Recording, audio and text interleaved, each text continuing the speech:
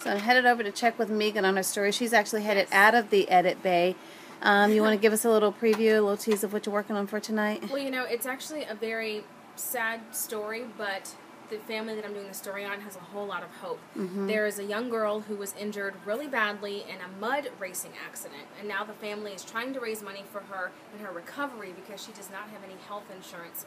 So tonight we talked to the family, her cousin, her uncle, and her best friend a little bit more about who this girl is Mm-hmm. and the long road to, the, to recovery that she has right now. Well, I tell you, we get so many emails from people in the community who are holding all kinds of fundraisers, trying to help people who um, are, you know, without medical insurance or facing some other sort of health challenge. And, you know, I'm not making a political statement, but I just think there's something wrong with a society where hardworking people can't afford health insurance, but people who get locked up in prison for doing terrible things um, get all of us to pay for their health insurance. So I'm hoping this will ultimately end up being a blessing for her. I hope so too. All right, Meaghan, I'll let you get back to work. Thanks.